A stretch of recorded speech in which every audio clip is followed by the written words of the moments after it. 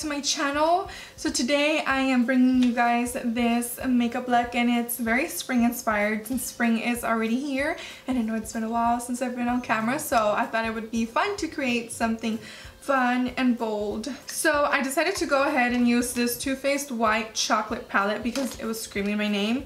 I definitely want to use this lavender next and play with this and do something a little bit different than my usual kind of like smokies and cut crease type of looks. I want to do something more creative and out of the box. Um, I know there's a lot of festivals coming around so I think it'll be fun to kind of play with that color and in that little stick around by subscribing so you guys don't miss out on any more videos and this past month has just been crazy. I've seen tremendous growth on my channel and I'm so excited and I want to know how you guys found me what video has driven you guys here and what videos do you guys look forward to seeing from me this these next couple of months with spring and summer coming around. I know since I was gone for a while, um, I kind of told you guys about it on Twitter, but I will be talking about it as soon as I am ready. So that is pretty much it. Go ahead and follow all my social media. I am very active on Snapchat and I'm trying to do Instagram stories because I know not a lot of people do Snapchat anymore, but if you guys would like to see how to get this makeup look, then just keep on watching and everything you need to know will be down below.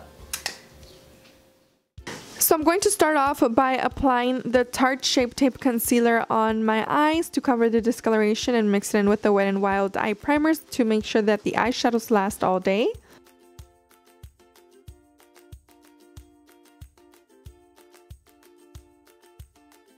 Then for the palette today, the palette I'll be using today is the Too Faced Chocolate Bar. And I believe this is the white chocolate bar. And it has such beautiful bright shades, which I think will be perfect for the spring and summer. I'll be taking the shade Cake Batter and I'm so sorry about the brightness on the camera. I didn't, I had no idea. I'll be blending this into my crease with my Morphe M573 brush in windshield wiping motions. And this is just going to warm up my crease. I wanted to keep it very light but still give some dimension to the eyes.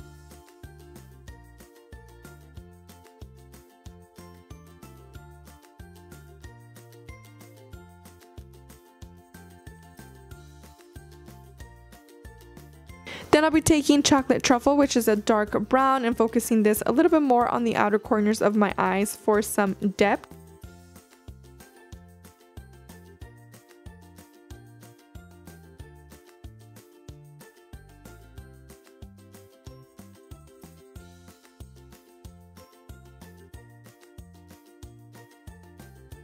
Since this entire look was based off on this eyeshadow color, I went ahead and dipped my brush into mint chocolate, which is kind of like this green blue. I think it looks a little bit more blue on camera than it did in person, but it's such a gorgeous shade and it is an all matte shade by the way.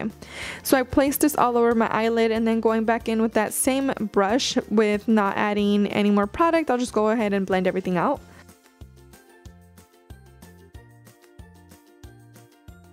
Then with a flat brush, I'll be taking the dark shade once again and focusing this on the outer corners of my eyes for more depth. I'll be taking my L'Oreal Telescopic Carbon Black Mascara and applying a coat of mascara to my lashes just to prep them for some falsies.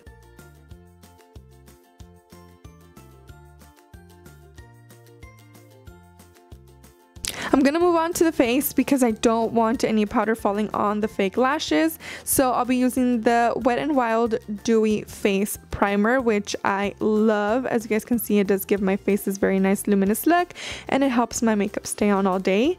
And taking my Makeup Forever HD stick, I will be using this as my foundation. As always, it's one of my favorites. I think it photographs so well and it does last all day uh, also. And then I'll be blending this into my skin with the Real Techniques buffing brush.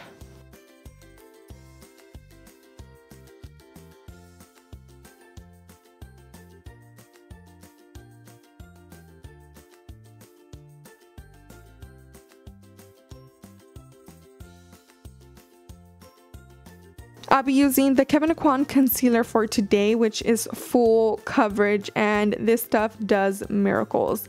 So I'll go ahead and apply this underneath my eyes and I'll be blending it out with my foundation brush because honestly I just feel like it looks the most natural.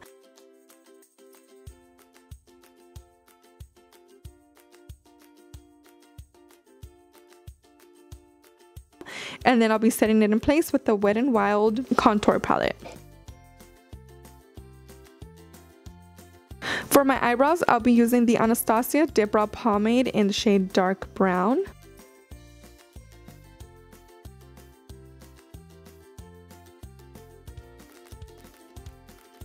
And going back to the Wet n Wild contour palette, I'll be taking the dark shade to contour the sides of my face and bring back dimension.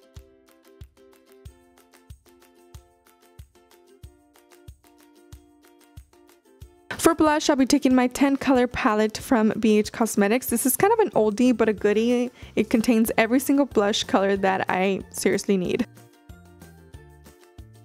Then I'll go ahead and take my falsies and apply them here. These are the House of Lashes. I'll have them down below in case if you guys are interested, but they are beautiful eyelashes. And to contour the sides of my nose, I do like to use the Too Faced Chocolate Soleil Bronzer. And to highlight and give my skin some glow, I'm going in with the Mary-Lou Manizer from The Balm.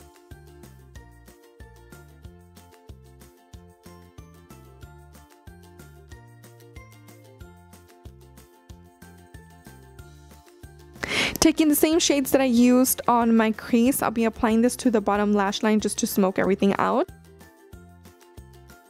I'll be going in with mascara on my bottom lashes. Taking the white shimmery shade, I'll be placing this on the inner corners of my eyes to make them pop.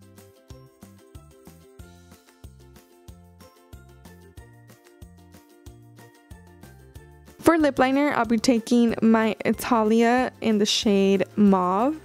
And then for lip gloss, I'll be using this Buxom lip gloss. And for the shade name, I'll also have that down below.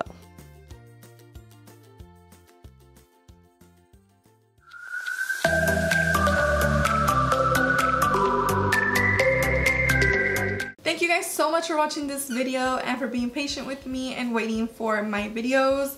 I am so excited finally be sitting here and filming. I swear it took me like less than an hour to do this, which I was kind of I was super excited to sit here and film and play with colors. So let me know what other looks you guys would like to see next. There's a couple of new palettes that I did get, so I would love to play around with. If there's anything specific you guys would like to see on here, please go ahead and let me know. I'm definitely going to start incorporating a little bit more lifestyle and I think that pretty much wraps up this video. I don't think I really have much to say other than thank you guys for watching. Love you and I will see you all in my next video. Bye!